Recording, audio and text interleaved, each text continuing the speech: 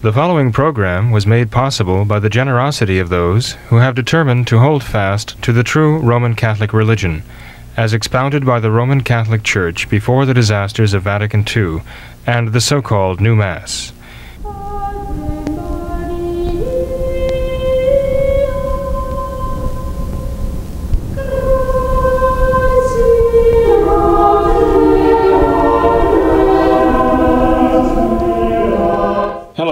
What Catholics Believe. This is a special edition here, uh, just to, to report on an event that took place in the Vatican on October 13th.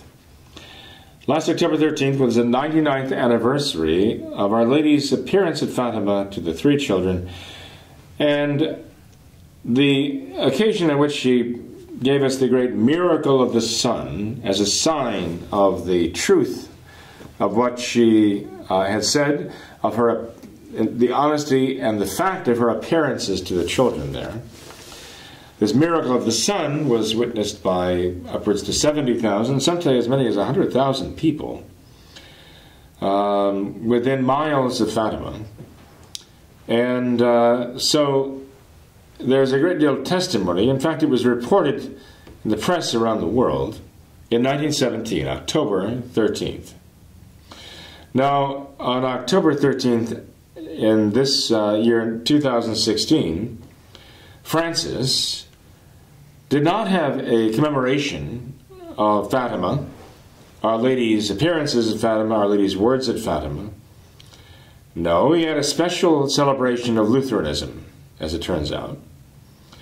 LifeSite News reported on this. There's a very interesting, an excellent article, in fact, in lifesitenews.com that talks about this event in fact, uh, this was reported Tuesday, October 25th, in this year 2016, in LifeSite News. And so I thought it would be worth reading this article and uh, intend to do so. The article is entitled A Statue of Luther in the Vatican and a New Papal Definition of Lukewarm. Pope Francis will travel to Lund, Sweden next week to assist in the launch of a year long commemoration of the 500th anniversary of Martin Luther's nailing of his 95 Theses to the door of the Castle Church of Wittenberg on October 31st, 1517. In a lead up event at the Vatican on October 13th, the Pope received a group of 1,000 Lutherans and Catholics from Germany in the Vatican's Paul VI Hall and addressed them from the stage where a statue of Luther was erected. The sight came as a shock to many Catholics because Luther was excommunicated and his theses rejected by Pope Leo X in 1520. The split he caused in Christianity remains as one of the most damaging in the Church's 2,000 year history. At the meeting, Francis reinforced his admonition from earlier this month against converting people. Weeks after saying it is a, quote, very grave sin against ecumenism, unquote, for Catholics to try to convert Orthodox Christians, Pope Francis told the pilgrims, quote, it is not licit to convince non Christians of your faith. So, having said a few weeks before, Francis, uh, that it was not, it was a grave sin, he said, to try to convert what he called Orthodox Christians. He's talking about the Greek and the Russian Orthodox churches. To convert members of the Greek and Orthodox churches with a capital O there, uh, that would be a grave sin. Here he says it's not licit, meaning legal, not permitted, meaning sinful, to convince non Christians of your faith. In that meeting, the Pope also offered a novel definition of lukewarm, which, according to Pope Francis, is when Christians are keen to defend Christianity in the West, on the one hand, but on the other are averse to refugees and other religions. So, if we can take this uh, at its face value, Francis has said that being lukewarm means that you want to defend your own religion and your faith in Christ, but that that doesn't translate into being zealous or fervent in your faith, that you want to be faithful to Christ and, and stand up for that faith, if at the same time you're not open to other religions, if you're averse to refugees and other religions. This is a strange, as they say here, novel definition of the word lukewarm. And they go on to say here the word lukewarm has significant meaning to Christians because of the words of Christ revealed in St. John's book, well, they call it here the book of Revelation, chapter 3, verses 15 to 16. Catholics know it to be the book of the Apocalypse. And this is quoted I know your works. I know that you are neither cold nor hot. I wish you were either cold or hot. But because you are lukewarm, neither cold nor hot, I will vomit you out of my mouth. Now, in the book of the Apocalypse, it is our Lord speaking here to St. John the Apostle. And basically, what he says is that those who are lukewarm about him and their faith in him and their hope and love for him actually are sickening. The effect to our Lord is as though it, it makes him feel ill. And he rejects them. He vomits them out of his mouth. Very graphic, very graphic statement.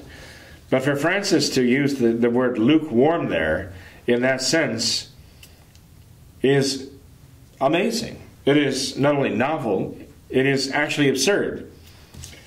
To say that if your zeal for your faith in Christ means you, you will defend the church the, the, uh, the Catholic Church, but you're not open to other religions, then you're lukewarm. Does that make any sense? No, but then so much of what Francis says makes no sense at all. I mean, here's a man who accused traditional Catholics of being Pelagians. And yet he turns around and says that you don't even have to have faith to save your soul. Well, Pelagius was the 5th century British monk who taught that you can save your soul by your own efforts and you don't need any supernatural grace to do it. So Francis, in the very act of essentially going way beyond anything what the condemned heresy of Pelagius actually said, accuses traditional Catholics, who are definitely not Pelagians and condemn Pelagianism, of being Neo-Pelagians. But again, Either he doesn't know what he's talking about, and his ignorance is absolutely abysmal, or,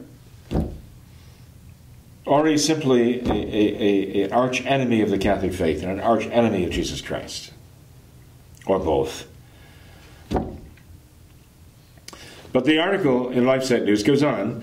The common interpretation of the verses here in the book of Revelation, as they call it, was to condemn the practice of picking and choosing among Christ's teachings rather than holding on to all of them. As the U.S. Conference of Catholic Bishops says, half hearted commitment to the faith is nauseating to Christ. In answer to a question about what he likes about the, the Lutheran Church, Francis said, I really like good Lutherans, Lutherans who really practice their faith in Jesus Christ. What I don't like are lukewarm Catholics and lukewarm Lutherans. Italian daily La Stampa, Vatican Insider, quotes the Pope as saying it's a contradiction when Christians are keen to defend Christianity in the West on the one hand, but on the other are averse to refugees and other religions. The Pope's application of Christ's strong condemnation to those who would be averse to other religions is perhaps a warning to those who would object to his coming praise for Luther, scheduled for October 31st. Swedish Catholic professor Clemens Cavallin points out in an essay on the upcoming celebration with Pope Francis in Lund that the common prayer service to be used has a very positive view of Luther. The text, this is what the Swedish Catholic professor Clemens Cavallin is saying now, the text paints a picture of Luther as a religious hero who found the way to a more true form of Catholicism. I guess that's Lutheranism, I suppose. Cavallin notes that in the liturg- liturgical guide, the Common Prayer, a section called Thanksgiving is intended to express, quote, our mutual joy for the gifts received and rediscovered in various ways through the renewal in impulses of the Reformation. After the prayer of thanksgiving, the whole assembly joins in singing thanks for and praise of God's work. The ecumenical journey enables Lutherans and Catholics to appreciate together Martin Luther's insight into and spiritual experience of the gospel, of the righteousness of God, which is also God's mercy, the text says. And the section concludes with the following prayer of gratitude. Notice what they're giving thanks for here. Thanks be to you, O God, for the many guiding theological and spiritual insights that we have all received through the Reformation. Thanks be to you for the good transformations and reforms that were set in motion by the Reformation, or by struggling with its challenges. Thanks be to you for the proclamation of the gospel that occurred during the Reformation, and that since then has strengthened countless people to live lives of faith in Jesus Christ. Amen they say. Francis will say. Curious, right? That Francis says, I really like Lutherans who really practice their faith in Jesus Christ. Now, wait a minute. The Lutheran faith in Jesus Christ, as founded by Luther, is that we're saved by faith alone, which is totally contrary to virtually every page of the gospel. What happened to our Lord's words? Why do you call me Lord, Lord, and not do the things I command of you? What happens to our Lord's words to the when the woman cries out, Blessed is the womb that bore thee? And our Lord says, Yea, rather blessed are those who hear the word of God and keep it. What happens to the words of our Lord when in St. Matthew chapter 25 he talks about the sheep and the goats being gathered at the last judgment? And he, our Lord, in judging, says, Come ye, blessed of my Father, and take possession of the kingdom, because when I was hungry, you fed me, when I was thirsty, you gave me to drink. These are all deeds of charity. Luther says, None of these things are required for salvation. None of these things. Francis has already said that he agrees absolutely with Martin Luther on his teaching on justification, a teaching that is formally condemned as heretical by the Catholic Church. Francis has already said that his church, the Novus Ordo, agrees so much with the Lutheran that they actually signed a common statement of faith on what justification means. Now you might say, well, that's maybe maybe there's a difference we have to make here. Draw a line because the Catholic Church believes in not only justification but sanctification. So maybe Francis was saying we still disagree on the matter of sanctification, but we can still agree on the Lutheran teaching of justification. It's still heretical. You see, the Lutherans, after Luther, don't even believe in sanctification. The Catholic Church teaches that our Lord Jesus Christ died on the cross to bring us a share in the divine life called sanctifying grace. And after our Lord has justified us from sin, He sanctifies the soul. He sanctifies the soul by sanctifying grace. Lutherans do not believe in this. Martin Luther does not believe in sanctifying grace. There's no, there's no room for this very concept in Lutheranism. Why? Because by sin we are intrinsically corrupt. By sin, according to Luther, we've, we've corrupted our nature. And there's no way we can uncorrupt it. And there's no way even that God can uncorrupt human nature. We cannot be justified in the sense that we are just ourselves. Our justification is applied to us externally. The justification of Christ is applied to us. We just remain rotten sinners.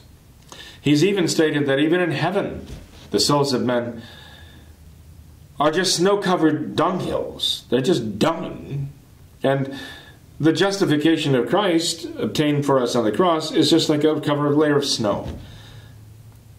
Now, what a rotten uh, concept of heaven this is. Okay, a bunch of piles of dung under under a layer of snow. Uh, this does not conjure up thoughts of heaven in my mind, but this is Luther's heaven. But the idea that the soul can actually be sanctified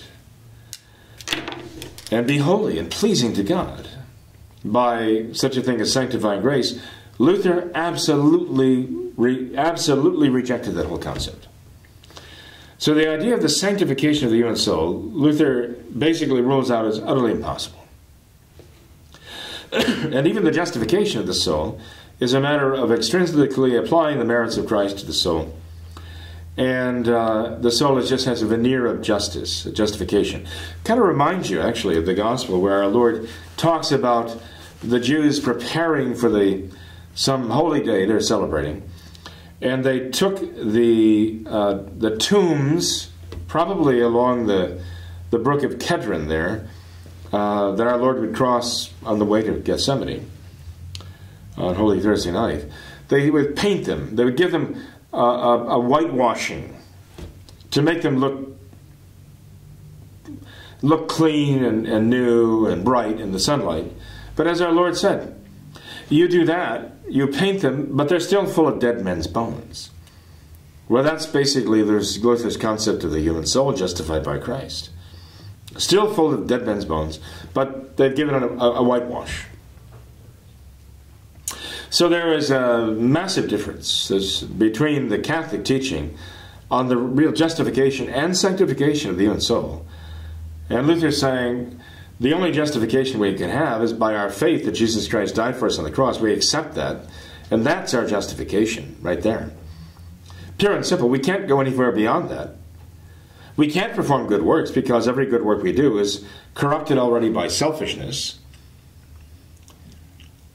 we can't really resist sin because our nature is so ruined and weakened that it is our pride that would try to make us think we can resist sin, temptation.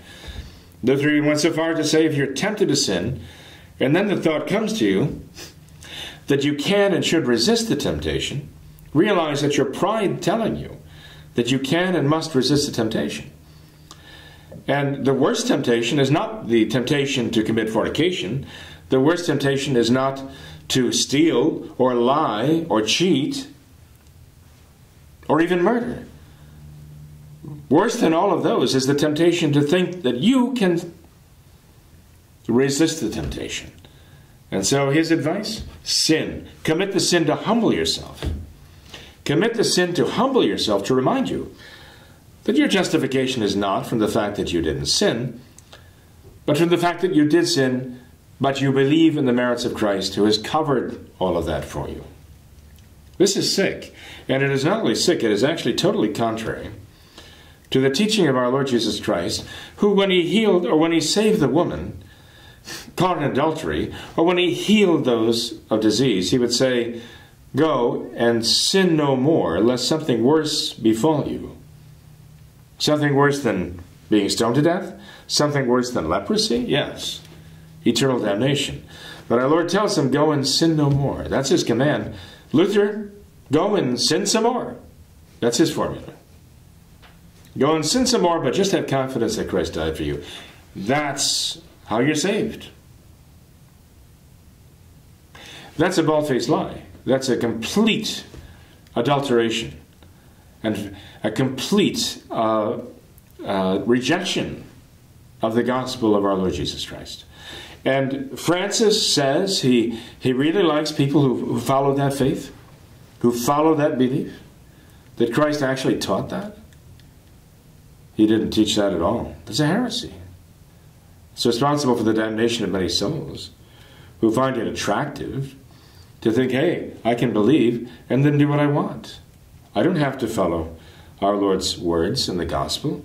I don't have to be faithful to Him as long as I have faith that he died for me on the cross and accept him as my personal Savior, then my sins don't count. Past, present, or future.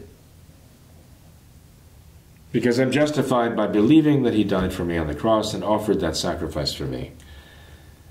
Well, I'm sorry uh, for those who would fall into the trap of that heresiarch, Luther.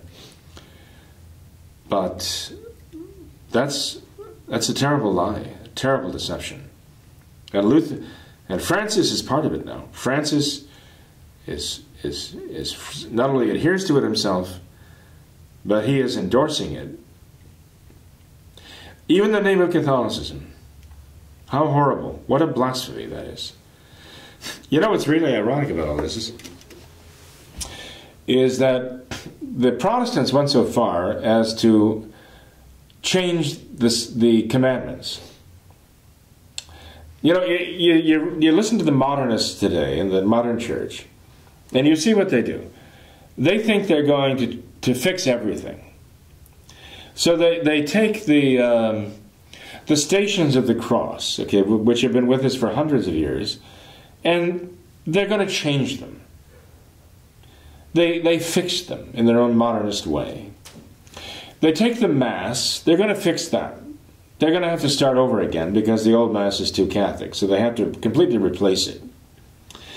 They take the sacraments and they're going to mess with those and they're going to replace them and change them, the ceremonies, and even the, the theology of what they really mean. Okay?